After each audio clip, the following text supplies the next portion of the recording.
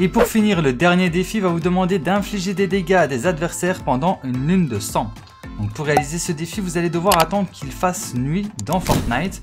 Et quand euh, ben, il fera nuit, ben, il y aura une lune de sang qui va apparaître. Et à ce moment-là, vous allez devoir faire 200 de dégâts aux adversaires pour terminer le défi et débloquer les récompenses.